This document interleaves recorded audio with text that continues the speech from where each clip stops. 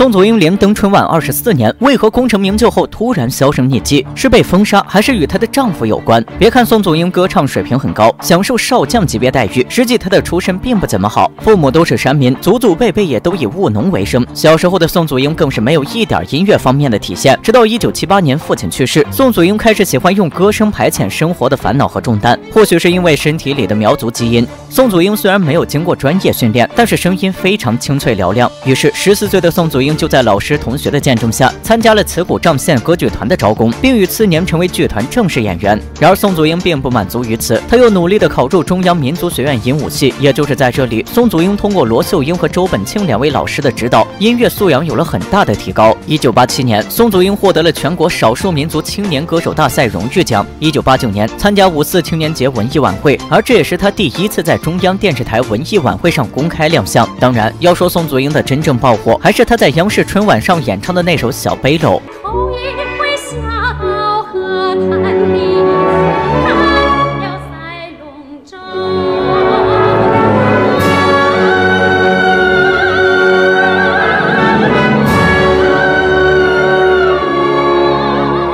之后，宋祖英又用《好日子》《大地飞歌》等歌曲彻底坐稳女艺术家的地位。至于宋祖英为何突然消失在大众面前，外界主要有两个说法：一是宋祖英被封杀了；二是她的隐婚丈夫背景太大，不再适合公开露面。第一点肯定不可能。先不说宋祖英在演唱圈的地位，单是她少将的身份就不可能。至于为何退居幕后，主要因为二零一三年的时候，宋祖英被升任为海政文工团的团长，工作比较繁忙，没时间再参加演出。之后更是到了退休的年纪，所以就很少少。在电视上看到他的身影了。